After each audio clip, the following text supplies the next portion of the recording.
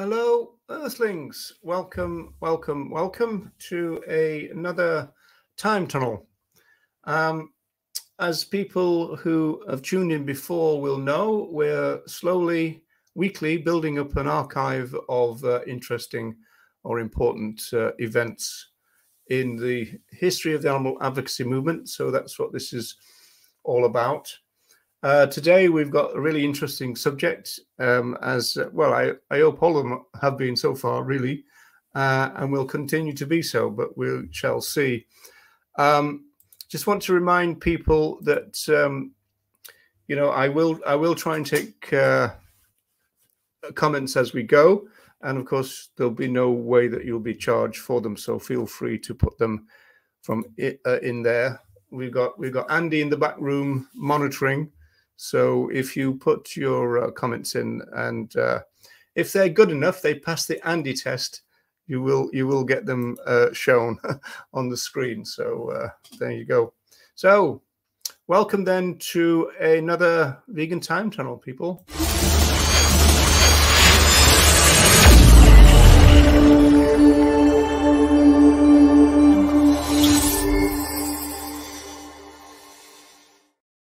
So today's uh, subject is um, Henry Salt.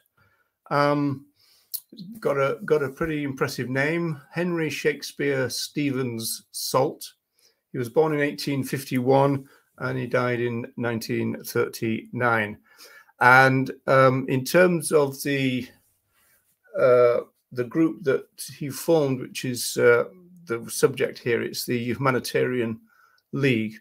So Henry Salt is often credited to be kind of first wave animal rights, um, if you like. There is some suggestion that it was more like what um, might be called uh, new welfarism, but we'll see that uh, transpire as we go along, in the sense that he, he didn't shy away from bringing about reform uh, as he went, uh, as as it were. So, so we'll see about all that just want to show before we start, just switch to this. This is the Henry Salt um, archive, which is on the net. It's, um, let me see, um, henrysalt.co.uk. Uh, it's, um, it's a very big archive, as you can see there. It's got stuff about his life, um, things about him as the author. The his book reviews here are really interesting. Uh, his friends will will come on to his friends a, a, little bit in the story.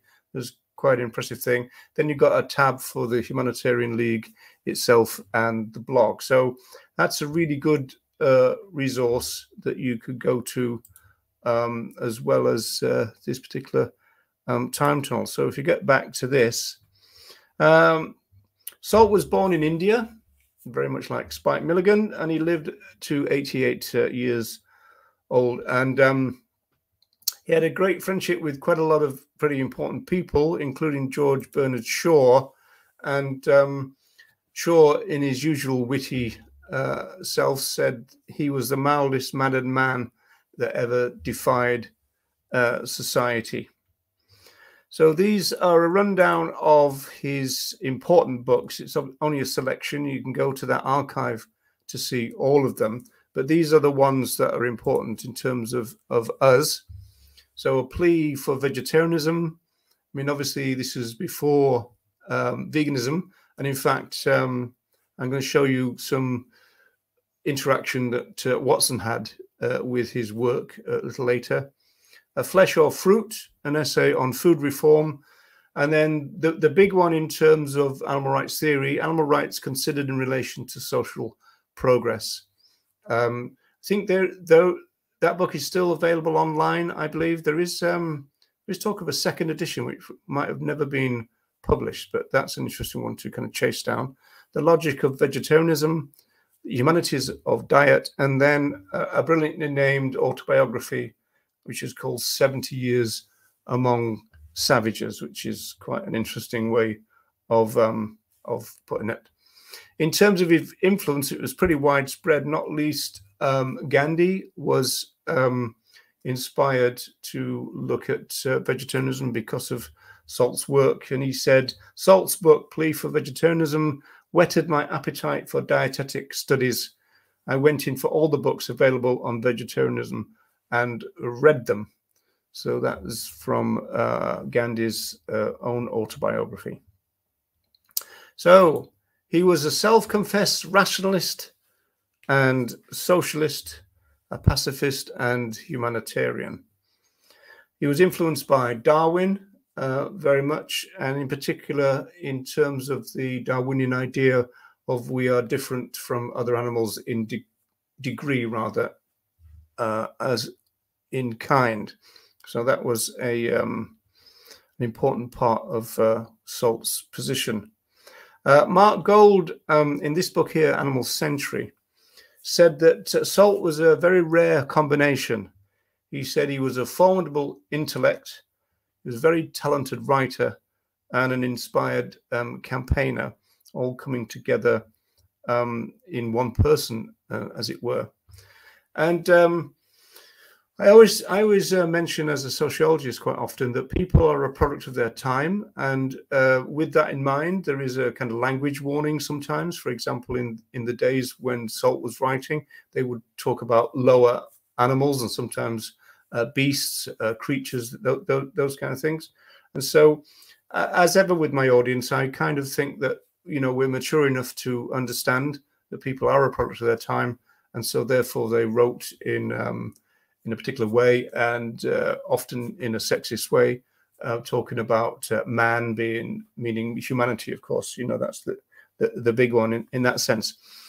Uh, but latching on to this idea, Mark Gold said that it uh, takes an enormous leap of imagination to comprehend how different the world was at the beginning of the 20th century. And I do really think that is is true. In fact, um, I often make that case when it comes to the middle of the century or, or close, when it comes to the foundation of the vegan social movement. We have to put oh. ourselves in their place, as it were, to understand their, their worldview and often to understand how radical their position was. Gold goes on to say, for example, that cars and electricity, this is for the vast majority, telephones, radios, um, other taken for granted things were beyond understanding, as he puts it at the time. Uh, women were still to fight for their votes, and the rights of children were hardly considered. Um, so this again kind of situates uh, Salt in his historical um, setting, really. He was um, born amongst the privileged classes in the Victorian age. He was educated at Eton as many of uh, the British MPs are, for example, and then King's College, Cambridge. So we're into the kind of upper echelons of the education uh, system. He excelled academically and was, in fact, then invited to become a master at uh, Eton himself after being a student there. Uh, this is a very young looking uh, Salt as as a master at Eton, uh, in fact. Um, when he joined uh, Eton as master, he became he becomes a vegetarian, which was probably quite a radical thing to do um, at the time, which is uh, quite an interesting thing. Um, he was also a socialist, and uh, Gold talks about him being a committed socialist, and this rather puts him at uh, odds with both his class situation and his position at work, uh, if if you like. And so uh, he wasn't really to last too long there, and in fact started to launch a campaign um, against them uh, after he'd left. He left Eton then in 1884 or 1885. There's some dispute about that. And he, with his wife, rented a labourer's cottage in Surrey and they, their plan was to live a very simple life. Uh, a Dr. Warre, which was Eton's headmaster at the time, said that Salt's resignation was due to, quote, the incendiary combination of socialism and legumes, which I always think is a, a pretty fantastic uh, quote. Uh, Deb, it makes you think about what future generations will think about our lifestyles.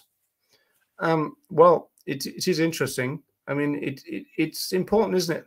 uh, for people to recognize that you know things change generationally, and that when you do look back, and you know, I'm sure people in the future are going to look back. In fact, as vegans, we often hope, don't we, that they're going to look back and think, you know, how how did they do that? How did they consume other animals and think that's okay? How did they exploit and oppress other animals? Um, you know, so they will look back in horror, presumably, uh, at what we do now in the way that we look back. I mean, if you ever go to these um, museums with medieval torture equipment, you, you, tend to think, you know, how is that even possible? And yet it, it was.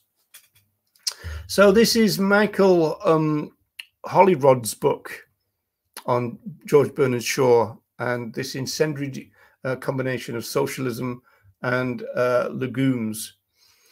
And uh, this one is actually one of the things that Salt said when he left uh, Eton. He wasn't very complimentary. Uh, you know, as I said, his autobiography was um, 70 Years Among Savages. And he, he called he called the Eton setup um, cannibals in cap and gown, almost literal cannibals, as devouring the flesh and blood of animals and indirectly cannibals living by the sweat and toil of the classes that do the hard work of the world. And so you can see just from that one quote how he really, really didn't fit in uh, with where he was a master at, at Eton, you know. So they moved to Surrey, as I said, and they had no servants there, which was virtually unheard of at the time for their class uh, of person. And then we get into the campaigning part of uh, Salt's life. He forms the Humanitarian League in 1891, and he remains the secretary uh, of the League for its 28 years uh, in existence. And it's, in fact, the First World War that uh, ends the, uh, the existence of the League. The manifesto of the League was truly remarkable and setting out, and again, that warning about the language of the time to destroy the time honored uh, ideal of a hard and fast line, as he put it, between uh, white man and black man, or we could just say black and white, uh, rich and poor, the educated and uneducated, and to dispel the idea that there is any difference in kind, again, this Darwinian idea, between human and non-human uh, intelligence. So again, I mean, in in in terms of the of the aspirations of the Humanitarian League, uh, you can see that it, it, was incredibly kind of radical uh, for its time. He said that human and animal emancipation were two reforms that were inseparable, and that neither can be fully realized alone uh, which is a sentiment that Donald Watson was to repeat later. But Salt was um, famous for saying this quote about it's not this bloodshed or that bloodshed, it's all bloodshed or all uh, wanton or needless bloodshed that must end. In fact, in terms of the one of our um, time tunnels is the 1989 uh, debate, which is the full debate featuring Tom Regan, of course, which took place at the British Institute. And one of the contributions from the floor was by David Icke, of, all people, who was then representing the Green Party. And he quoted um, uh, Salt uh, quite at length. Uh, it's only he only talks for about four or five minutes, but um, it's really quite powerful. And he used that particular quote. So the idea is then that you've got this issue that our um, emancipation is going to be uh, wrapped up in everyone else's uh, emancipation. And as I said, this is a sentiment that Donald Watson was to repeat uh, years ago. So if you look at this um, page, I don't know if I can see if I can make it a little bit bigger for you. If you look at the second column uh, near the um, at the top, this is where Watson is saying now, nearly half a century later, in our, uh, with our increased knowledge and experience, we can see what pressing human problems are related to problems of other animals, he's saying, that they will be solved together or not at all. and that veganism will be central to their solution. So this is Watson picking up on Salt's position, uh, which essentially is what David Nibert expressed in this idea of entanglements of oppression and liberation. So again, if if you if you are one of the new breed of uh, animals only vegans, do consider that you're rather out of step with the history of the movement because it's the idea that we can't we can't liberate one without liberating all really. We can't leave anyone else behind otherwise it's just not going to work. And this has been expressed time and time and time again in our movement uh, as it was by salt as it was by watson uh, here now, the other interesting part of this is this is um, a little bit earlier in this same um, little snippet, which actually is from 1989, when Donald Watson was doing his presidential kind of log, it was called at the time.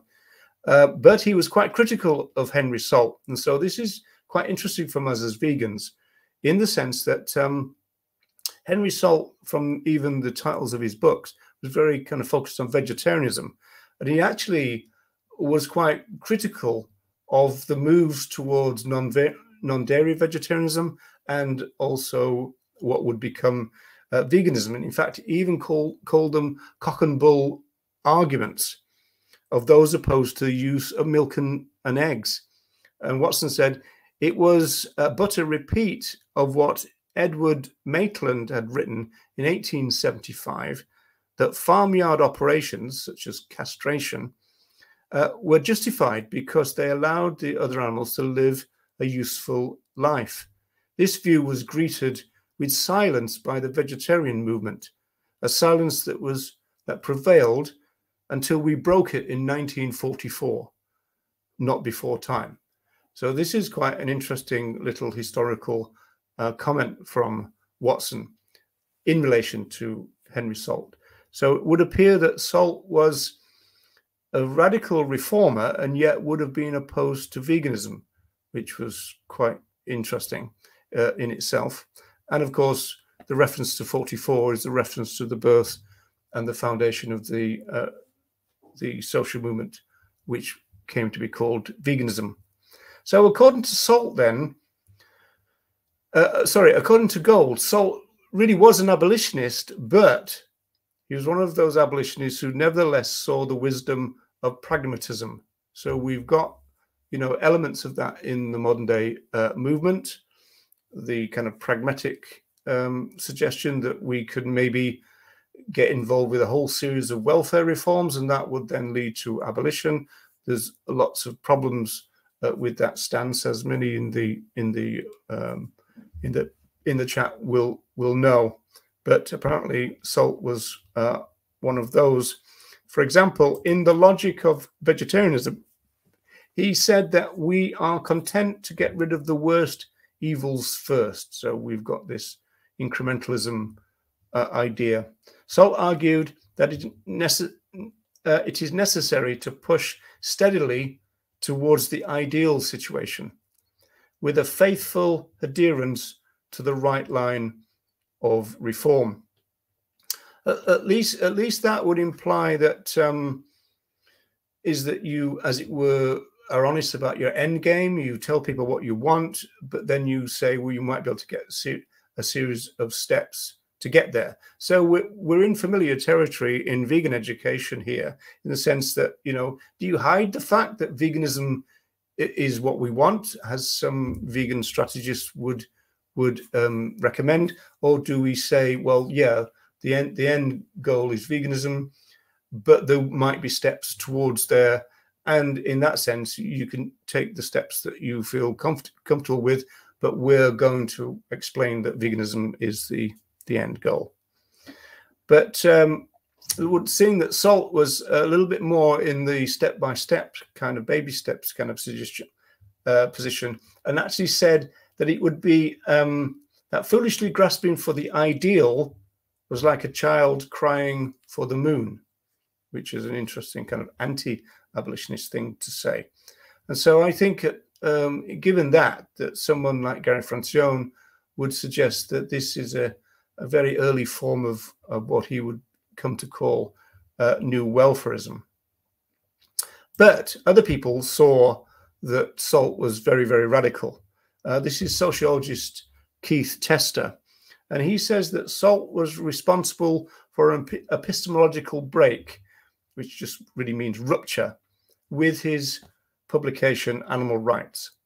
In essence, Salt brought a new way at looking at human non human relations. And in that sense, you could accept that Salt was extremely um, radical. He saw other animals as individuals, a, a radical thing in itself, and said that all individuals should ungrudgingly respect the individuality of others, that no human is justified in thinking of other animals as automatons to be worked or to be eaten. So, again, in that sense, uh, a very, very kind of radical uh, position. Tester suggests that Salt's position, um, that from Salt's position, nearly um, every existing human treatment of other animals uh, was, or still is, uh, bad. Although it's interesting that um, Salt did seem to um, favor um, the keeping of uh, pets, and that would have been the word used uh, to talk about them at the time. It's when Salt talks about how domestic animals should be treated with courtesy and fairness, is when we maybe can begin to wonder about whether Salt's animal rights is actually really the idea of the right to welfare or whether it's really animal rights. So there's that question mark, if you like, hanging over um, salt uh, in that sense. But as I said, I'm not trying to take away from the radicalism of the time. You know, that, that's the last thing I want to do. And in terms of the League's program, the Humanitarian League's program of reforms, it was pretty uh, remarkable. For example, this is almost like their rundown of what they were campaigning about. So they campaigned against hunting, the inhumane treatment of human prisoners, uh, vivisection, uh, the use of other animals in fashion. We'll come on to that. The treatment of the mentally ill, um, farmed other animals, corporate punishment, slaughterhouse reforms, which is uh, one thing that you could think is is that abolition is that welfare, that kind of thing, and warfare as opposed to, to welfare. Described as a systematic protest against the numerous barbarisms of the age. And again, in that sense, very radical. The cruelties inflicted by men on men, and the still more atrocious ill treatment of the lower animals, as it, as it was put uh, in those days that's an interesting one in the sense that um, wasn't um, frightened, if you like, to put things into perspective. That um, what humans do to other humans is absolutely appalling, uh, but an even bigger problem is the what, what's called the atrocious ill treatment of other animals. He called for humans to adopt a consistent position towards the right of men and of lower animals alike. Again, this language issue, as I keep saying. And to cultivate a broad system of universal justice for all uh, living beings, which is uh, pretty good. So uh, that there on the right there is the manifesto of the Humanitarian League, and I've just um, um, kind of expanded the top of it, really, which is quite interesting. The Humanitarian League has been established in the belief that the promulgation of a high and positive system of morality in the conduct of life and all its aspects is one of the greatest needs of the time. It will assert as the basis of that system an intelligible and consistent principle of humaneness, viz., that it is iniquitous to inflict suffering directly or indirectly on any sentient being, except when self defense or absolute necessity can be justly pleaded. then there's a quote from Wordsworth. Um, going back to uh, modern day uh, vegan times, I think that um, that sentiment is actually the same sentiment that's in the modern day definition of veganism. Uh, in other words, the practicable and possible part, that it's kind of when absolutely necessary, like in self defense, or, you know, when it's a necessity which is absolute. Whereas, as we know in recent times, the the kind of um, the, the vegan ideal and the use of those kind of words within the uh, the modern day definition have been kind of been kind of used to uh, some degree of um, what you could say slippage or sloppiness, if you like. So, in their first year, the Humanitarian League launched a campaign against the Royal Buckhounds, which was a deer hunt, but it took them 10 years to close them down. And there is some suggestion that it took a letter written to Queen Victoria uh, for that to come about. And of course, Queen Victoria is the reason why the RSPCA is has got the the royal part of it. It was just the Society of the Prevention of Cruelty to Animals at first, until uh, Queen Victoria took um, took an interest. They also took on the Eton School Beagle Pack, so in other words, Salt's old school, and that campaign had the support of Christabel Pankhurst, a militant suffragette, as she was called. Uh, Joanna, I guess if Salt lived in this time, he would say companion animals instead of pets. Yes, or he might say animal companions, which is even better than companion animals. The phrase companion animals seem to give them a job, whereas animal companions doesn't. So there's been that progression. It was about the 1980s when companion animal came in, and maybe in the last few years, Animal Companions has superseded that as well. So they launched this campaign against the um, the Beagle Pack in Eton, and Pankhurst was involved, this militant uh, suffragette. And it's during that campaign that the word blood sports was coined. So that's quite interesting because um, SALT had a lot to do with the uh, foundation of the League Against Cruel Sports. But the campaign failed. The campaign against the Beagle Pack uh, failed.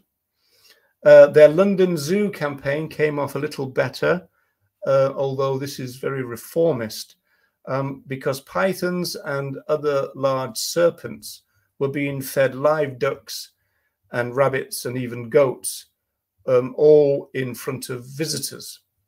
Now, the, we can say a few things about that because if it's going on, uh, and it's in front of the paying visitors of a zoo, do we have a campaign to hide it or to stop it or what? I mean, if you're going to have pythons and other large serpents in captivity, you've got a problem to um, to feed them essentially. In 1907, the zoo stopped this practice, and to this day, uh, freshly killed other animals are fed to the reptiles instead. So again, to what extent that's a, a, major victory, we could debate in the sense that we still have this this problem of providing uh, food for obligate uh, carnivores. Gold claims that this was a perfect example of salt being pragmatic in order to make things less barbaric um, in that sense.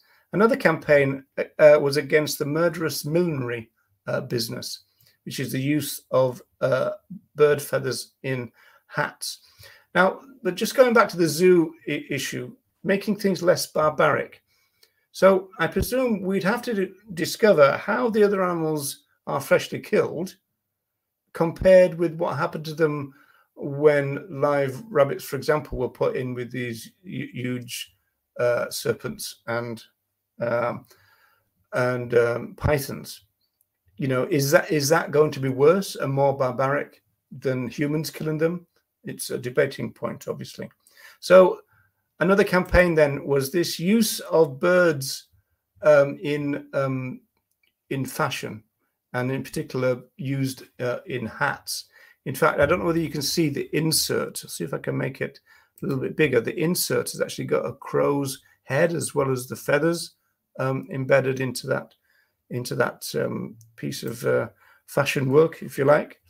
So this is the 21st century uh, when this trade began, and millions of birds were massacred for this particular um, uh, trade.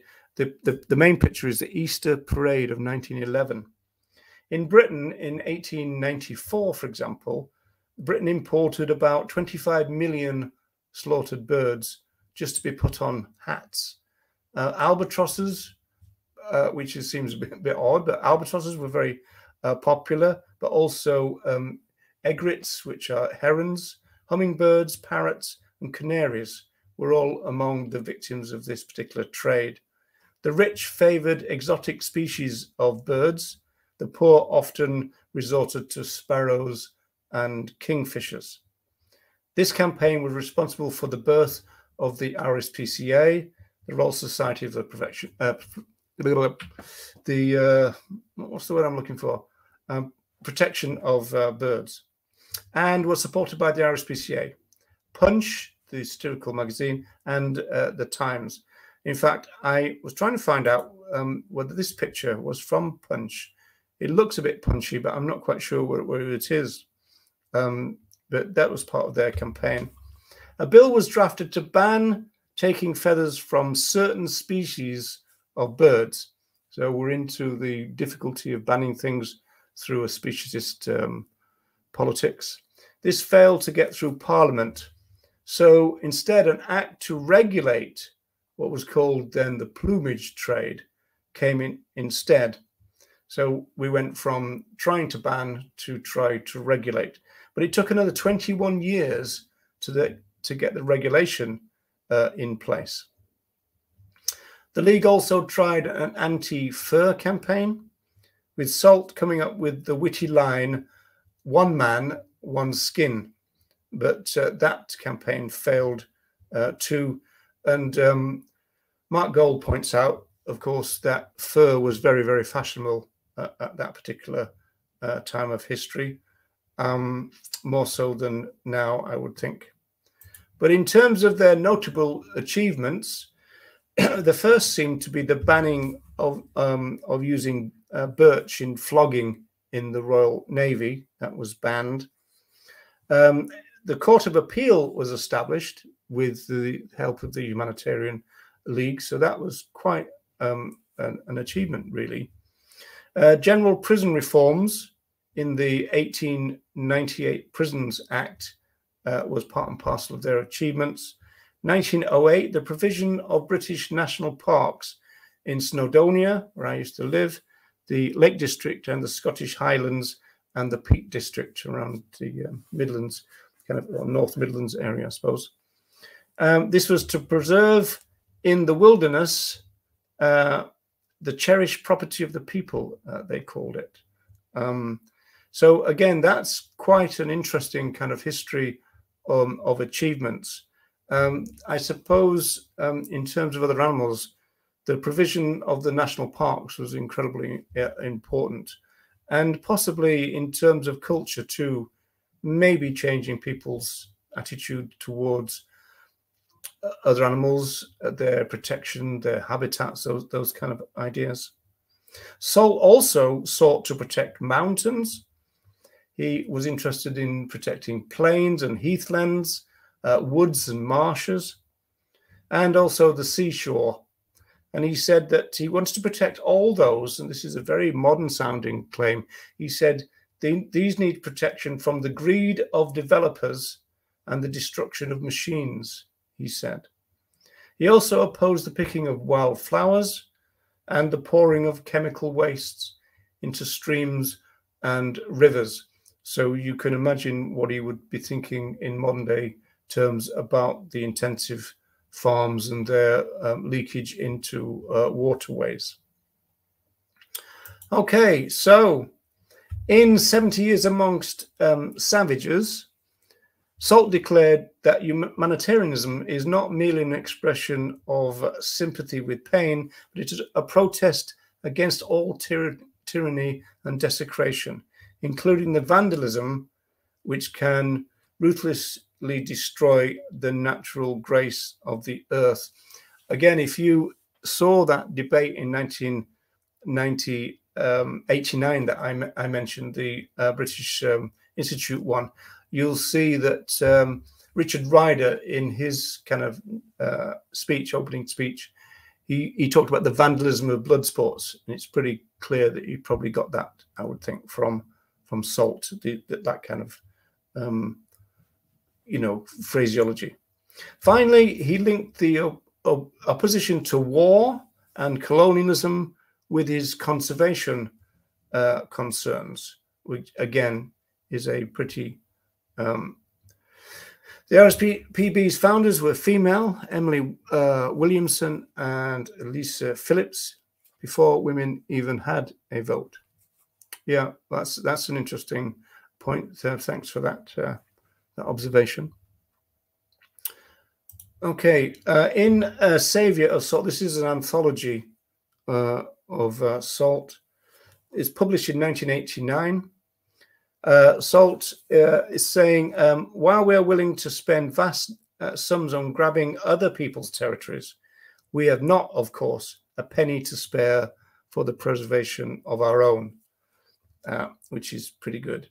And he responded to pushback against his arguments. And again, in in that um, in that other resource, you can see um, quite a lot of reviews of his work. He responded to the pushback uh, to that kind of thing with um, wit and some scorn, probably aided and abetted by George Bernard Shaw.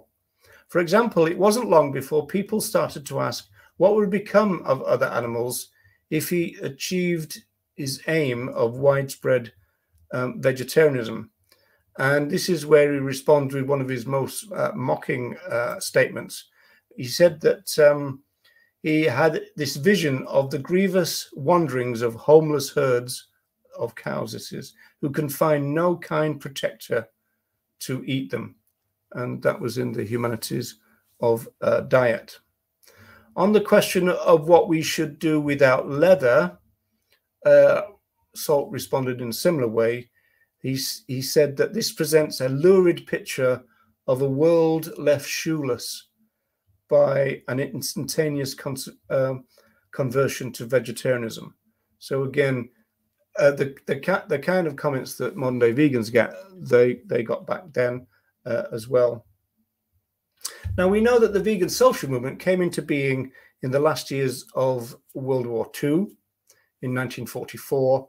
The Humanitarian League's demise, according to Mark Gold, came about with the advent of the Great War in fact, the League closed its doors one year into World War One, uh, in other words, 1919.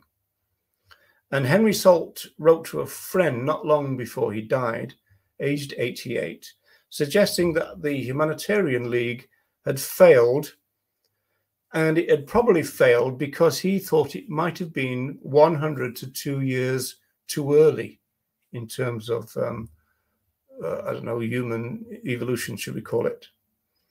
He said that the Humanitarian League, Salt said this, was way ahead of any religion of its day, and also its vision was also clearer than any scientist um, of the day. And, um, you know, his legacy, um, as I've suggested, was pretty impressive. We've seen that Gandhi went vegetarian due to Salt's influences, but there was many others too.